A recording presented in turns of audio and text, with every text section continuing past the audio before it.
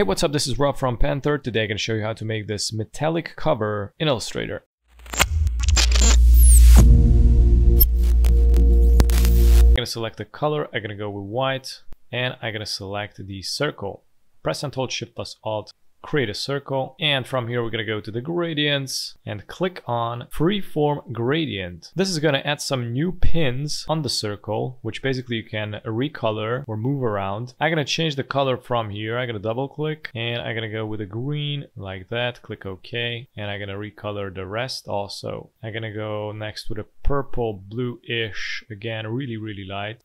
Next it's going to be a blue. Make this as yellow Click OK. Good, and now we're going to arrange these colors and you also can multiply these separately. For example, if I click on this green and I click somewhere here, it's going to make me another green.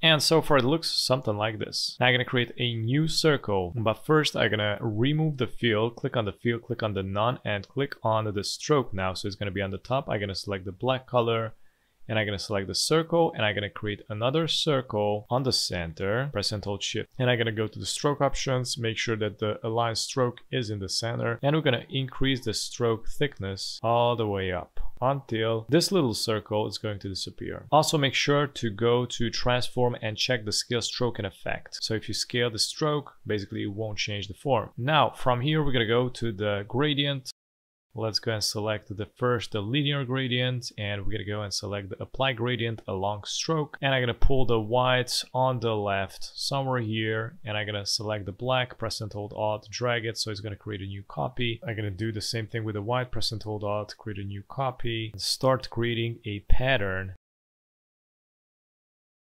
and the main point is the starting and the ending to be black. Perfect. Now we're going to go to the transparency and we're going to change the blend mode from normal to exclusion. Now you can mix up the color styles till you get satisfied. Thanks for watching and if you're new on the channel, don't forget to subscribe and hit the notification bell so you get notified with daily updates and also check out the rest of the videos at the end. Have a good one. Bye bye.